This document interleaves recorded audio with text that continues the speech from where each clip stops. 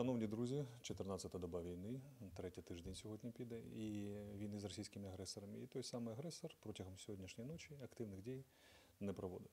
Він використовує паузу для перегрупування, е, накопичення сил і намагання просуватися по тим напрямкам, які визначені у них як головні: Київ, Харків, Маріуполь, Миколаїв. Але це не вдається. Збройні сили України, інші сили оборони наносять потужні ракетні артилерійські авіаційні удари по противнику, не даваючи йому змоги просуватися. Ситуацію контролює воєнно-політичне керівництво України і командування збройних сил і інших сил оборони. Е, Ми наносимо втрати противнику.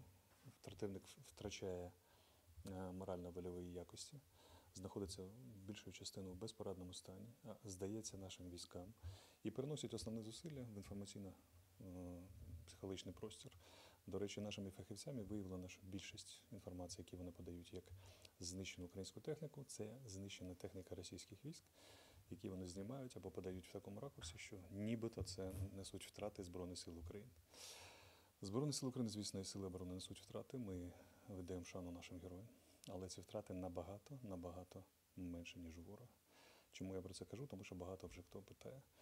Також керівництво України додає, докладає величезних зусиль для е, евакуації мирних мешканців з міст Сум, Чернігів, Харків, Бровари, Гастунель, Буча, Маріуполь. Сьогодні вранці частина цих коридорів запрацювала. Звіт буде пізніше, відповідно від Міністерства з питань тимчасово окупованих територій.